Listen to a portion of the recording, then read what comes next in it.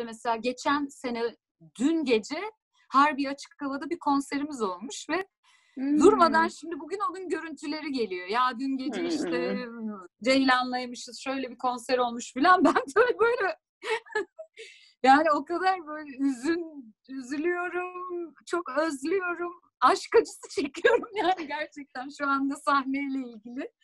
Ah kavuşamadığım bir sevgilim var filan gibi hissediyorum.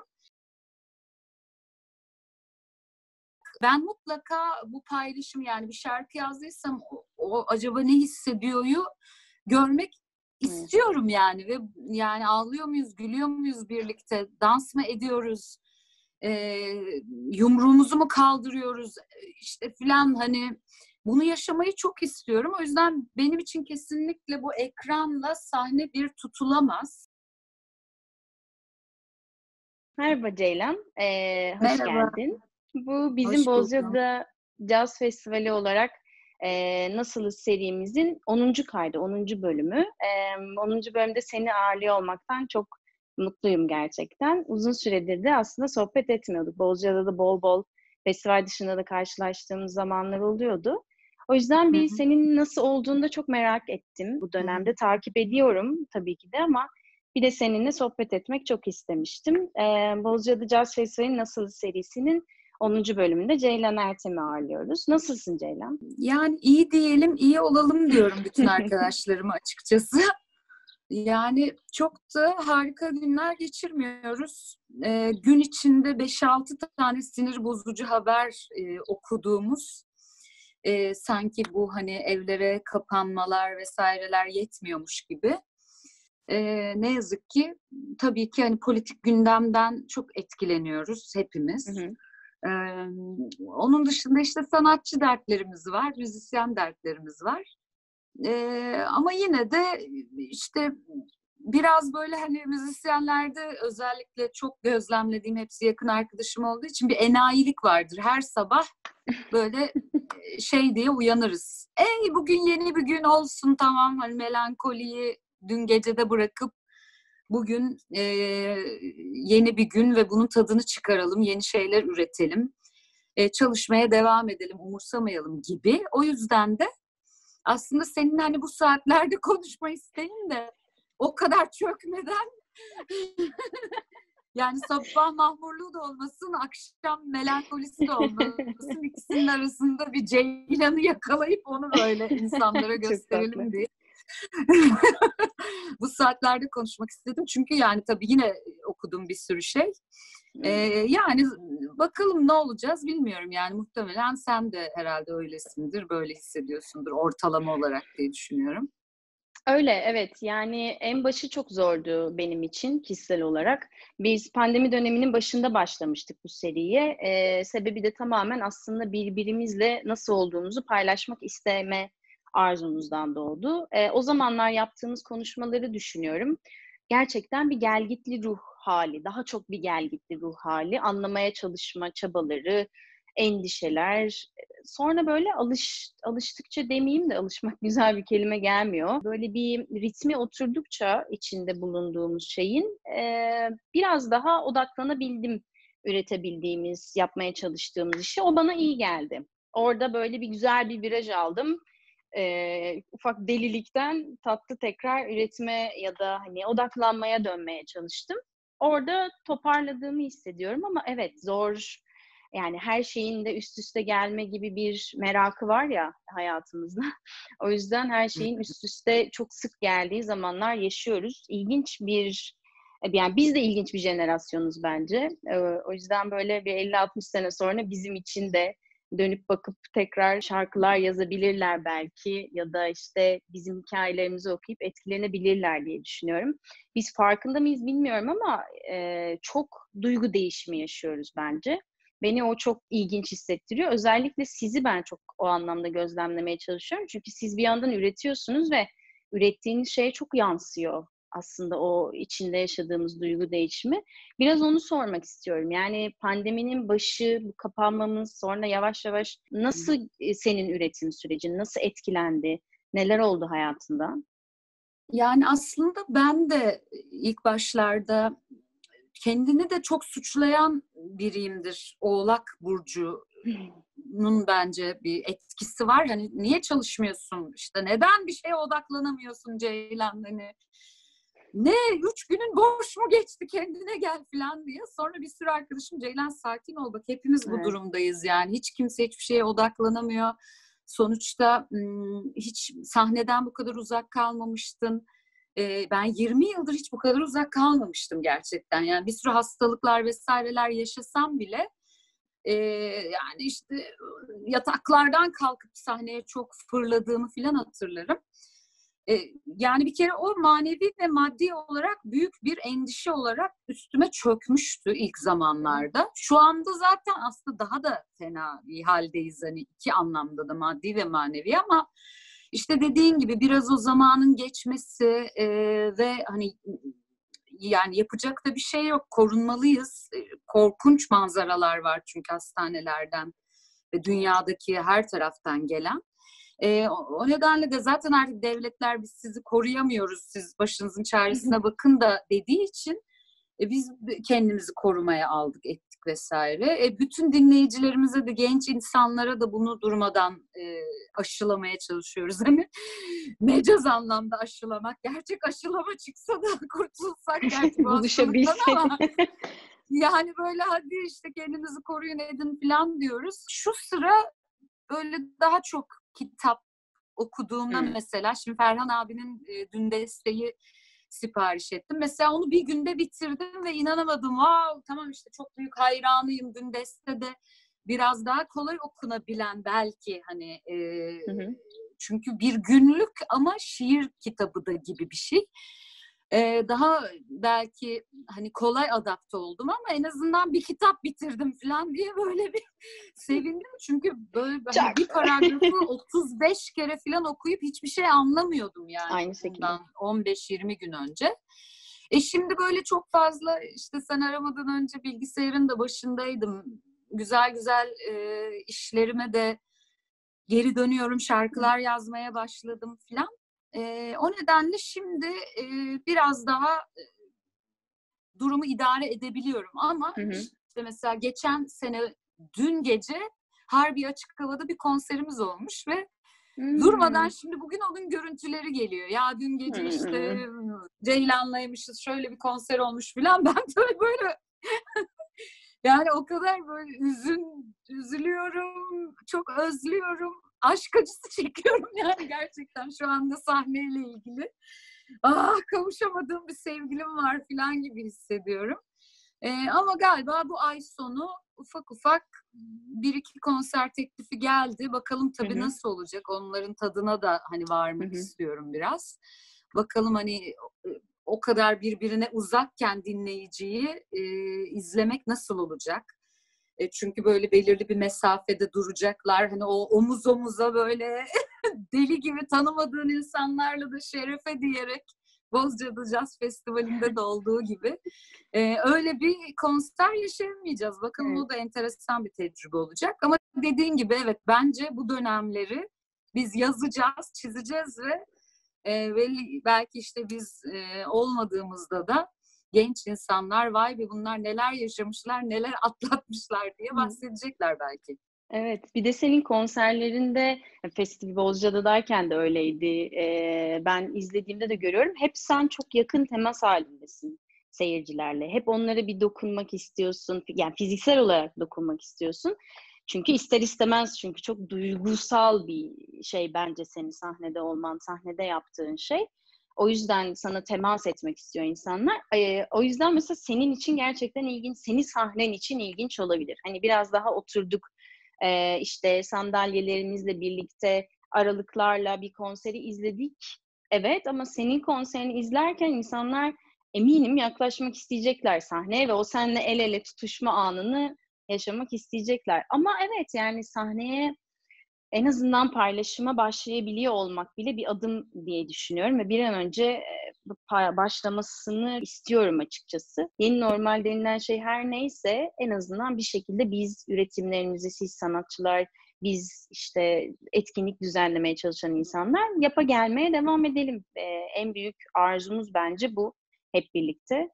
Peki bir iki konser e, fikri var dedin. Sen nasıl hayal ediyorsun? Nasıl resimler görüyorsun? Oturup düşündüğünde tekrar bir konserde buluştuğunda ya da daha çok mesela evde üretim ve paylaşım üzerine mi bir şey düşünüyorsun ya da yok hayır ben sahnede paylaşmak durumundayım gibi mi hissediyorsun? Bundan sonrası için nasıl senin kısa vadede en azından paylaşma planın? Yani işte bir denendi canlı konserler biz de yaptık ettik ama ne ben tabii ki o karşılığı bulabildim. Hı hı. Hani oradan evet kalpler geçiyor işte alkış emojileri yağıyor vesaire. Ama yani tabii ki o işte bakışılan edilen e, göz göze, omuz omuza olan o konserlerin yerini tabii ki tutmuyor. Yani ne yazık ki. E, ben çok tabii ki evcil bir insanım. Evi çok severim. Evimden paylaşım yapmayı çok severim. Hani birlikte yaşadığım hayvanlardan işte Hı-hı. enstrümanlarıma, arkadaşlarıma, dost sofralarıma dek yani bunu zaten beni yakından tanıyan herkes biliyor. Ama gerçekten o başka bir şey. Yani hele de Beyoğlu sokaklarında hmm e, müzik de yaptık işte sahillerde can, e, sokak müziği yaptık. Oralardan geliyoruz yani hep böyle insanlarla göz göze.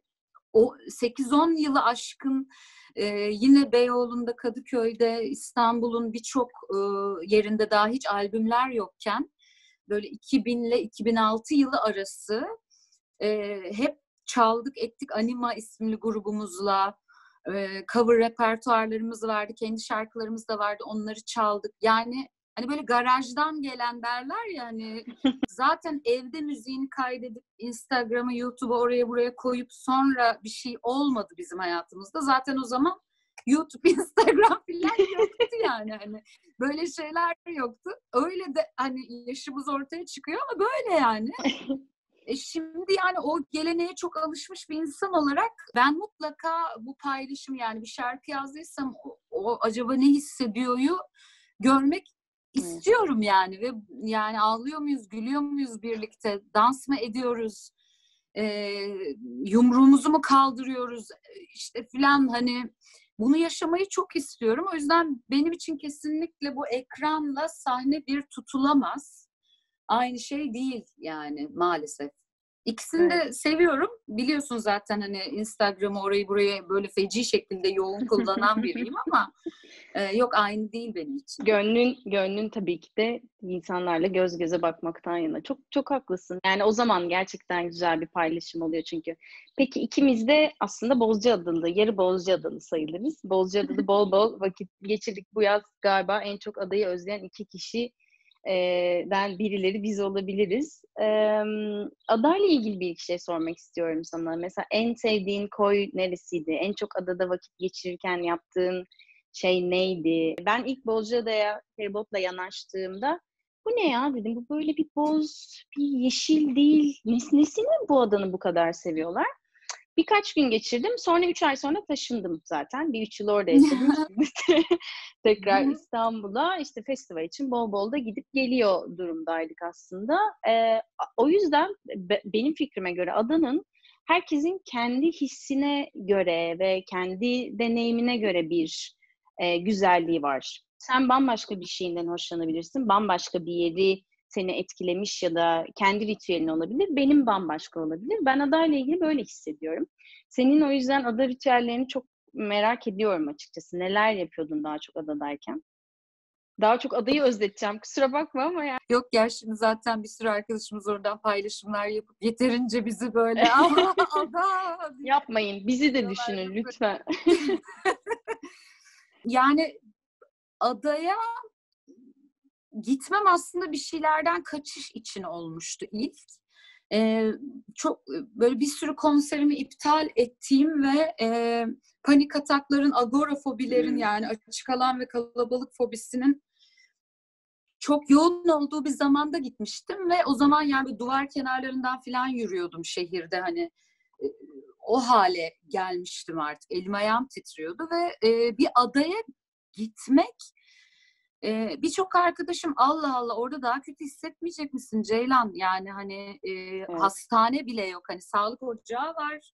Hani yani çok korkar çünkü panik atak ve agorafobi hastaları mesela hastaneye yakın olayım. Ee, bir sürü insan aslında oraya böyle e, kopuk gibi bakarken ben sanki böyle anne karnı gibi hani hissettim galiba. Ne Hani sarmalayan ve beni sanki her şeyden koruyor gibi hissettim. Çünkü yani orada bana adanın iyi geleceğini bilmiyordum ama e, birkaç gün sonra ar, böyle arkadaşlarım annem falan şey demeye başladı. Aa Ceylan bak yolun ortasından yürüyebiliyorsun. E, ama mesela adaya gitmiş olmama rağmen iki sene denize giremediğim oldu. Hmm. Üçüncü sene e, orada ata vardır. Ata beni böyle zorla işte ne demek sen yani o zaman işte 40 gündür oradaydım hiç girmemiştim falan denize. Ama böyle boğuluyorum daha hani denize girmeden Hmm. boğuluyorum gibi şeyler yaşarken sonra denizine de girmeye başladım. Sonra artık böyle teknelerle açılmalar, denizden çıkmamalar böyle deli deli. Ee, yani aslında birçok e, kez beni karanlıklardan kurtarmış bir yer olduğu için sonra artık ben bir de orada hmm, birkaç albümümü hep orada planladım. Hmm. Orada yazdım birçok şarkıyı. Ee, bu sefer bana o anlamda da çok iyi geldi. Hatta Cenk Erdoğan Bodrum'da olurdu genellikle. Bozcaada'da, Can Güngör İstanbul'da. Öyle bir üçlü bir şey kurardık. Üst böyle albümler için.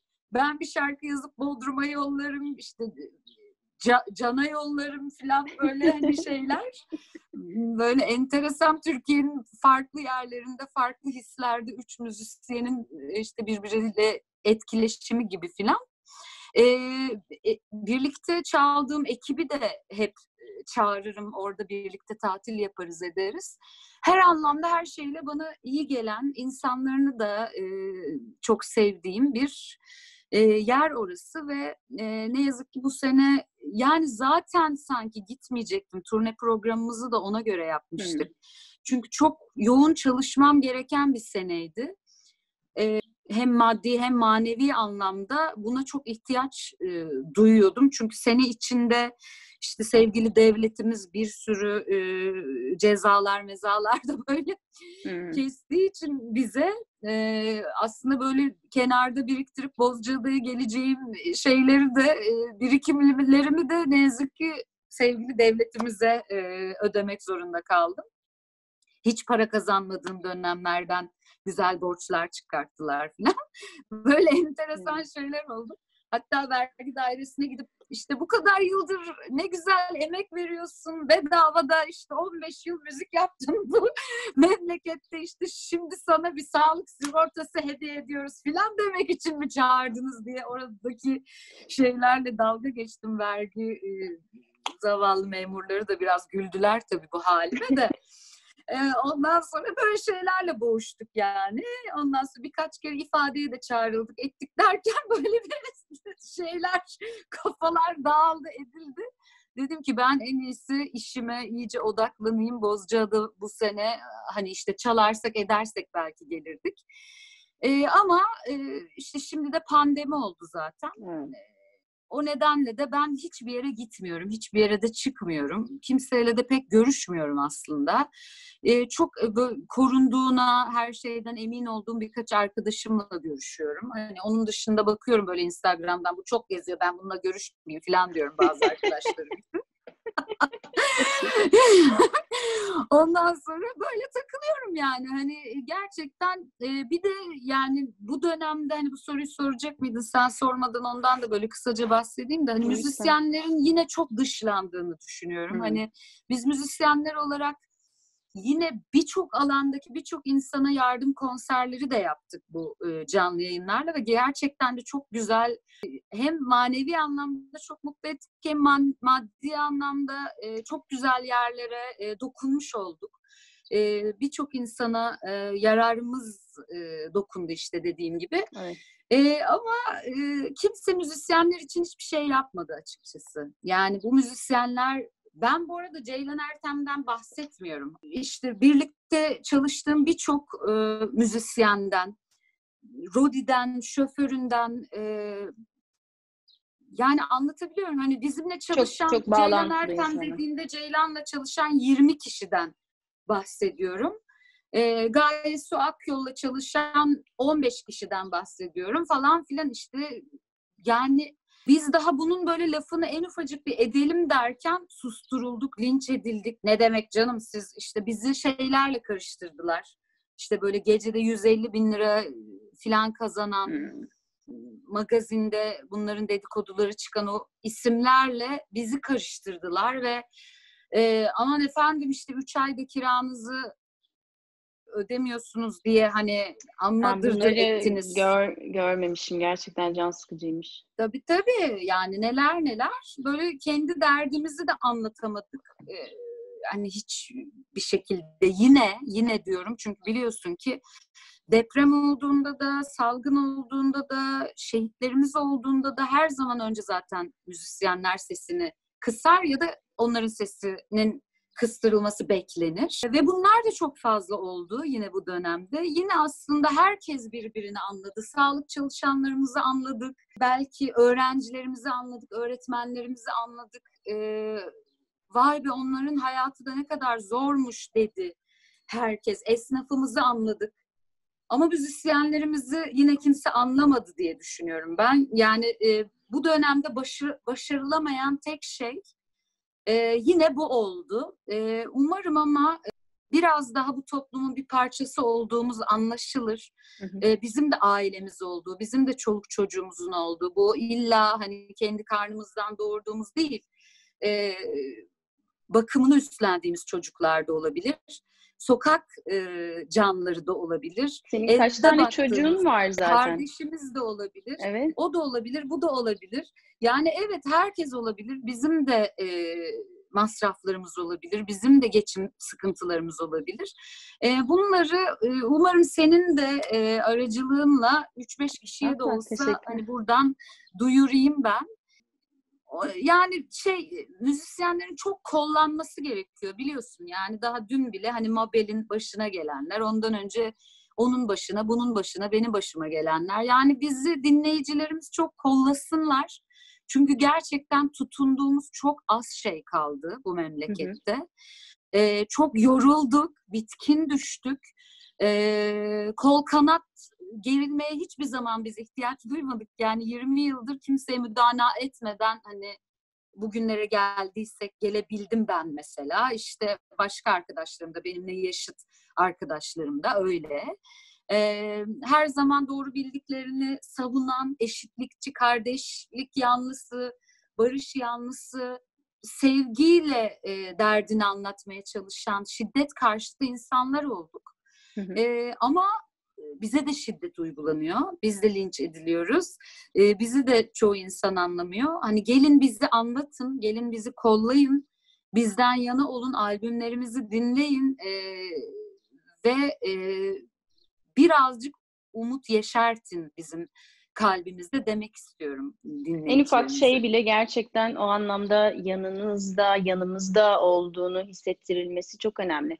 Acaba Ceylan bu yani sonuçta şeyleri gördük. Kültür, sanata e, bir anlamda destek projeleri çıktı. Bununla ilgili konuşulan platformlar oldu. Acaba şöyle bir algı mı var? Yani müzik eğlence gibi mi görülüyor? Eğlence gibi görüldüğü için kültür sanatın içine mi bir şekilde bir bir bir mantıkta insanlar sokmaya çalışmıyorlar. Bu olabilir mi? Kesinlikle eğlence olarak görünüyor. Ben bunu yani yüz yıldır söylüyorum artık şey oldum yani şiştim. Çünkü Neşet Ertaş'ı dinlediğinde sadece eğleniyor musun? Eğlenmek de var tabii ki bunun içinde. Kendini eğlemek de var. Ama eylem de var yani işte. Ee, baş kaldırı da var. Her şey içinde gizli. Bütün hisleri yaşayabildiğin bir sanat dalı bence. Ee, ve bunu bu kadar hani yeri geldiği zaman küçümsemek, aşağılamak aslında bence. Ee, aman işte o gece de eğlenmeyi versin millet falan. Ya belki eğlenmeyeceğiz, belki ağıt yakacağız o gece. Yani neden bunu evet, düşünüyorsun? Öyle bir algı, öyle bir algı yanlışlığı yani var. Yani böyle bir algı var ve bence bu bütün yani bizi falan geçtim bütün dev e, müzisyenlere büyük bir hakarettir. Yani müziği sadece eğlence olarak algılamak çok büyük bir küfürdür e, dünyadaki bütün dev sanatçılara. Çok ayıp edildiğini düşünüyorum yani. Bu algıdan hemen bir an önce kurtulması gerekiyor.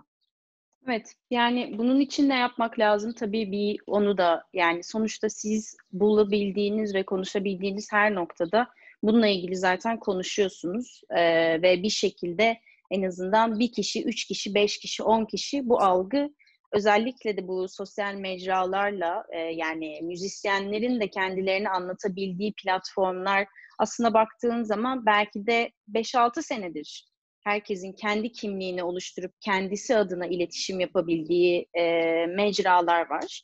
O yüzden de belki de bir zamanla her müzisyenin kendi mecrasından kendi derdini ve dilini dinlediği e, dönemlerle birlikte belki de yavaş yavaş oturacak bir algıdır. Ama umarım bir an önce toparlar çünkü gerçekten önemli bir konu. Ben mesela sen bu denli anlatmadıkça bu kadar ciddi, ciddi olduğunu farkındaydım ama senden dinleyince bir daha böyle bir içim şey oldu gerçekten. Geriye dönük de düşündüğüm, aklıma gelen, hatırladığım şeyler oldu. Ama işte evet işin bir yandan da dediğin gibi seyircileriniz, ortak paylaştığımız platformlar, güzel tarafları da çok mutlu edici olduğu için ee, devam etmek her zaman bence çok güzel. Ee, evet değil mi? Yani o o küçücük bir an bile seni tekrar evet, 10 yıl daha bunu yapabilmeye bağlıyordur eminim. Evet yani zaten e, ben yaşadığım için müzik yapmıyorum. Müzik yapabildiğim için yaşıyorum. E, yani o olmasa bu dönemde onu da çok iyi anladım. Hep derdim ki işte fotoğraf çekerim canım ben şarkı söyleyemezsem hmm. işte video çekerim onu yaparım bunu ederim falan. Yok alakası yokmuş yani. Gerçekten şarkı söylemek, sahneye çıkmak, müzik üretmek, şarkı yazmak bunlar beni yaşatıyormuş. Bu gerçekle de hani kendi kendime böyle hmm, Ceylan amma hava atıyordun hiç öyle değilmiş kız falan diye böyle bir ayna karşısında konuşmuş oldum yani. O nedenle işte dinleyicilerin de bence müzik dinleyicilerin de çok acıktığını hissediyorum yani ara ara biz de böyle Kesinlikle. konser videoları koyunca onlar da hadi artık kavuşalım diyorlar.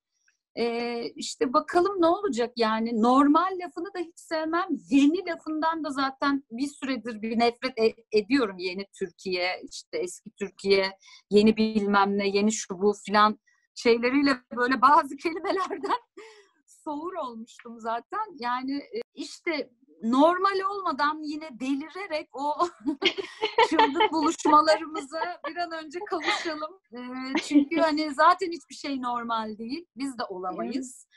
E, ama şey yapalım yani işte korunup edip gerçekten o doktorların, bilim insanlarının söylediklerini sabahtan akşama kadar dinleyip Hani Açık Radyo'da Açık Gazete'yi hep öneriyorum. Onu çok öneririm. Onu Ömer Madre'yi çok dinlesinler. Hani e, Murat Kınıkoğlu vardı. Çok iyi bir doktor. Onu dinlesinler. Yani gerçekten aslında hiçbir şey bitmedi ve birçok bilim insanı bu ne ilkti ne son ne de en kötüsü diyor. Yani o yüzden e, yapacaklarımızı da öğrenmeliyiz. Dünyaya nasıl kol kanat germeliyiz? Bir de o var. Asıl kol kanat Tabii. germemiz gereken.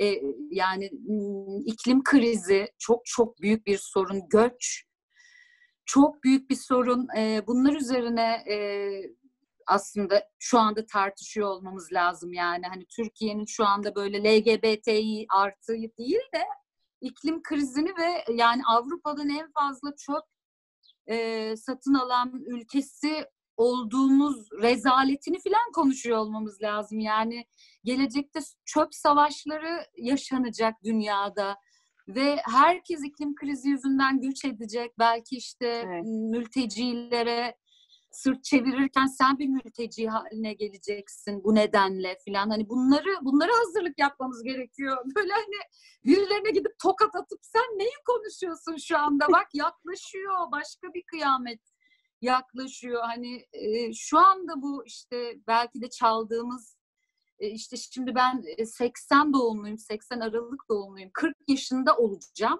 2000'liler geliyor konserlerime, 20 yaşındalar daha yani onlar 20 yıl sonra nelerle yani belki de evet. boğuşacaklar ve e, uğraşacaklar. Greta Thunberg'le dalga geçiyorsunuz. Yani gencecik kız şu anda gerçekleri anlatmaya çalışıyor bütün dünyaya. Ee, yani olanlar bunlar aslında çok büyük dertler var. İşte belki bu insanları takip ederek dediğim bu işte Türkçe hani yayın yapan ve çok da gerçekten harika biçimde anlatan bu insanları takip edip e, belki biraz hani bunlarla ilgili nasıl önlemler alabiliriz? Belki işte hani plastik e, şeyler takmayarak mesela elde yıkayabileceğin bir maske takmak bile belki hani çok önemlidir. Belki benim konserlerime kendi mataranla gelebilirsin. Plastik işte şişelerden su içip yeni bir plastik onu da çöpe atıp falan gibi değil de gibi. Mesela Bozcaada'yı bu yüzden de çok seviyoruz. Hani plastik poşet kullanılmıyor orada. Ne yapıyoruz? İşte e, ya kendi çantamızla alışveriş yapıyoruz ya da karton e, poşetler, e, poşet değil de işte ne deniyorsa ona karton şeylerle, çantalarla taşıyoruz ediyoruz. O yüzden seviyoruz yani. Hayali yaşıyor Bozcaada ne güzel. Yani böyle böyle Biz şeyler son konuşmamız misiniz? gerekirken evet. yani o kadar komik şeyler konuşuyoruz ki işte bilmiyorum hani hep böyle bir şeyler geri çekiyormuş gibi hani hissediyorum. Sana da bugün çok dert, yanmış Aynen. oldum ama hani böyle şey yapmamız lazım, koşmamız lazım yani çok hızlı hareket etmemiz evet. lazım. Ee, bakalım nasıl olacak yani nasıl başaracağız. Umarım seneye çok daha güzel şeylerden hani bahsediyor oluruz ve evet. Bozcaada'da oluruz ve Bozcaada Jazz Festivali'nde bunlardan konuşuyor oluruz yani. Evet, umarım. diye umuyorum ben. Yani biz son nesiliz gerçekten e, iklimle ilgili özellikle bir ciddi adımlar atmak e, zorunda olan artık yani bu bir e, tercih de değil bir zorunluluk e, gerçekten son nesiliz çok önemli o yüzden söylediğin şey. Onun bir farkına varıp attığımız her adımı e, iki kere, üç kere, belki beş kere düşünmeliyiz. Çünkü çok daha ilginç bir şey e, geldi zaten ve geliyor ki bununla birlikte çok farklı farklı şeyler var. Evet Ceylan gerçekten umarım seneye böyle güzel o Bozcaada'nın bu zamanlarında ki bu kadar sıcak olmuyor gerçekten ada. Güzel böyle evet. esen bizim de festivalde güzel, keyifle çimlere uzandığımız, e, bol bol müzik dinlediğimiz zamanında tekrar buluşuruz. Çok teşekkür ederim ben sana. Çok keyifliydi. E, seni Rica görmek, seninle sohbet etmek, böyle bir sürü şeyden bahsetmek. E, umarım tekrar en yakın zamanda karşılaşırız. Sen çalarsın, biz seni dinlemeye geliriz, göz göze bakarız. Evet, ee, evet. Çok olur inşallah. Evet, çok sevgiler. çok teşekkür ederim. Ben teşekkür ederim. Herkese de sevgiler gönderiyorum buradan. Ee, çok umutsuz konuştuğum için biraz içime oturdu ama her zaman ütopyalar güzeldir arkadaşlar. Yani o gün gelecek. Biz o günü bekleyeceğiz. Godoy'u bekler gibi bekleyeceğiz. Görüşmek üzere. Çok teşekkürler. Çok sevgiler. Görüşürüz. Bye bye.